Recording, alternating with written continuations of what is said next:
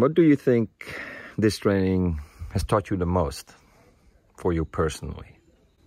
Um, what it taught me most is um, being responsible for my own boundaries, understanding where my limits are and what I actually want, and where that those two lines basically meet to understand where until where I can I go and where until where should I really go and, and until where do I want to go and actually fill up the space. So um, that for me was uh, probably most important teaching.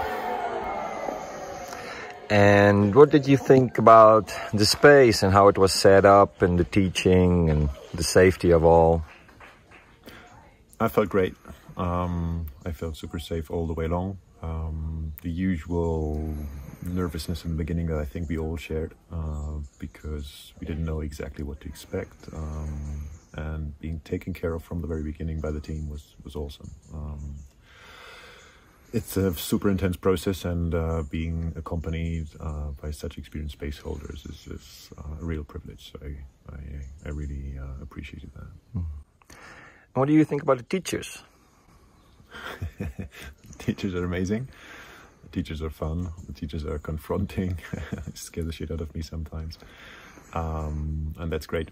Uh, they really can read people and, and, see both of their limitations and their potential. So um, being pushed at the same time, always with, uh, I don't know if you say it in English, with bienveillance, with uh, heartfelt uh, uh, uh compassion at the same time, with uh, the, the, encouragement to, to really go for ourselves. Um, so an awesome job. Um, I'm full of respect for their own personal path. Um, the, the degree of consciousness they have developed and uh, found that extremely inspiring. What do you think Dayan's best quality is?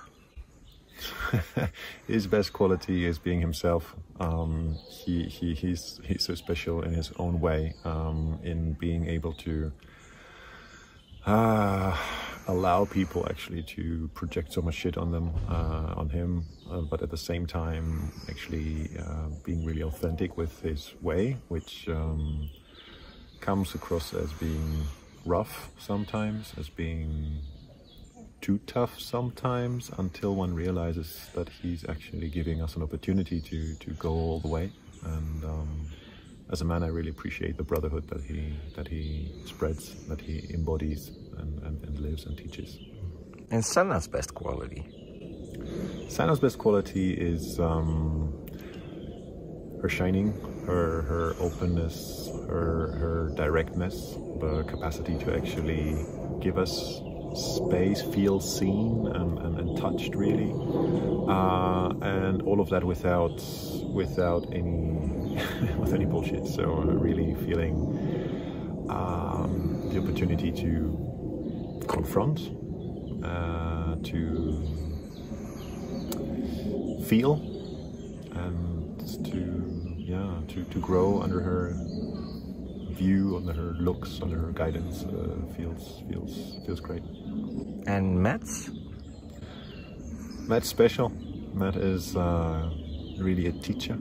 He he um, he knows so much. He he cares so much about transmitting, about explaining, um, and to convey uh, a sense of uh, verticality, clarity. Um, I really appreciate that. And what would you say to somebody who is thinking about coming to this training? Well, whatever doubts you have, um, I feel you. I understand them. I have had them myself. Um, it's not easy to take that step to go into such a deep training and to confront all of those little demons inside and bigger demons as well, pretty big demons actually.